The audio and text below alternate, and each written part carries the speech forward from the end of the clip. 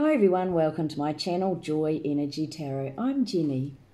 Thanks so much for watching and I hope this resonates with you. This is just an intuitive guided midweek pick-me-up reading for the rest of the week from um, April the 28th, I think, around about that anyway.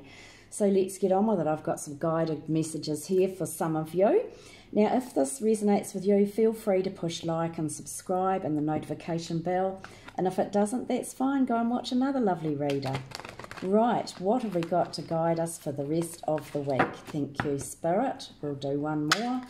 What sort of guiding messages have we got? Right, what are people going through and what do they need to know? Okay, so for some of you, you've got some sort of offer coming in. There's like an offer or um, some advice or a gift from the universe.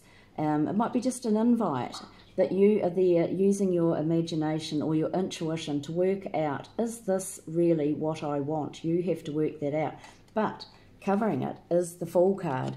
So the Fool card is like a new opportunity that's coming in. Jump in, go for it. Okay? That's for some of you. It mightn't be for all of you.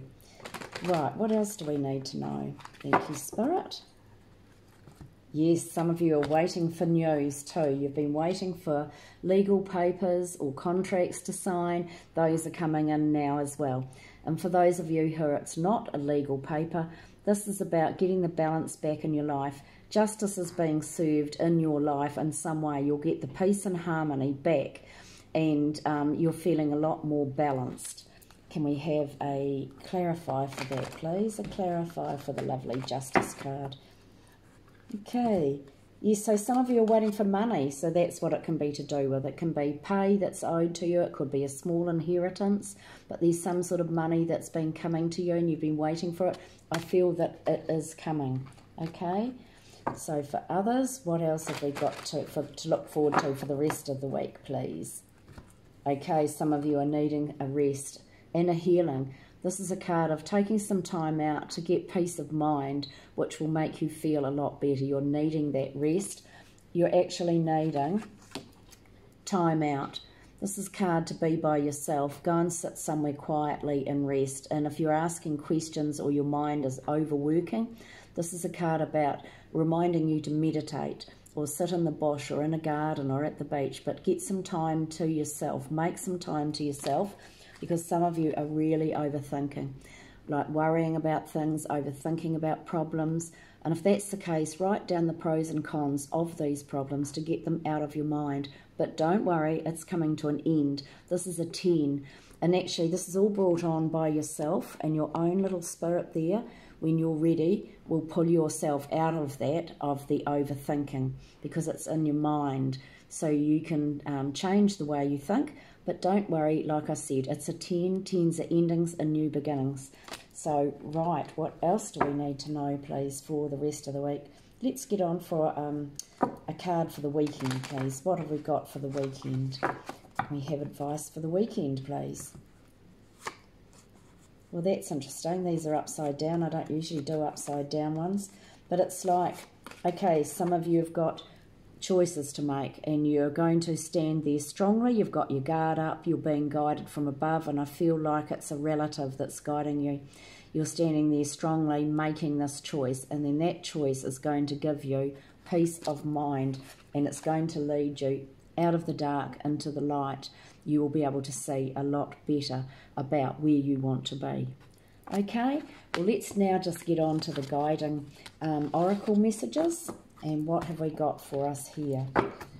Right, so first of all, this is a cat card. So this is quite a long one, so I'll read that out first. It's called Sleeping. This is advice for some of you. Let it go. Actually, it's for all of you. Let it go. Relax and release. Rest is well earned. You've worked well and now you can surrender to bliss. Know that when you wake, a new possibility will appear. Rest is, oh, sorry, I've got to find the right page here. There we go. Rest is as important as action. Restore and renew the body. The mind and body requires rejuvenation. Allow slumber to course through your body, healing as every minute unfolds. Allow fear, insecurity, and troubling thoughts to leave your body, which grows heavy and re- with relaxation. Dreams bring inspiration. Purr deeply and know that you are not missing out as you regenerate your mind, body, and spirit in the sleep's sweet nectar. Feel and know that you are supported and secure. Nothing can harm you. The cat is master of the art of letting go. Deep slumber is required for those who embody truth within the physical self. A cat is always true to its posture, muscle memory, and reactive senses. This is why feline sleep is deeply committed and heavy. Feel your physical self and connect to your own flesh, blood, and bones until your body is as heavy as a sleeping cat. Deep sleep is as important as activity. Commit to each when the time is right. Keep your eye on your goal, yet allow it time to develop while you turn your attention to restorative things. Breathe deeply. Okay, that's your guiding message for the rest of the week. And then the guiding message from Louise Hay is Excuse me. The guiding message from Louise Hay is This world is our heaven on earth. Okay, this world is our heaven on earth. In the new millennium of the Aquarian age, we are learning to go within to find our Saviour. We are the power we're looking for. Each one of us is totally linked with the universe and with life. Okay, and the last guiding message is communication. Communication is the key. Issues can be resolved by clear communication from both sides. Speak your truth, but also be willing to listen and compromise. So that's messages for some of you as well. Now let's have just general guiding messages from the lovely Frida inspired art cards. Okay, what do we need to know? What can we say to help people, please, for the rest of the week? guiding message quickly for the rest of the week. Thank you. Right, we've got be prepared for more learning, understanding, and opportunities and love. You are a living work of art. You're always becoming your true self. Okay, and last one specialize in your creative life trades.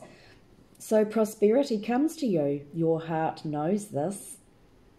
Okay, thanks for watching, lovely people. I do cat cards live too and pick a pile um, on Facebook on a Monday, Tuesday, Wednesday usually.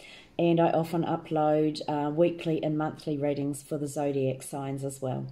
Um, for personal readings, just email me at joyenergytarot at gmail.com. So thanks so much for watching and blessings to you all. Bye.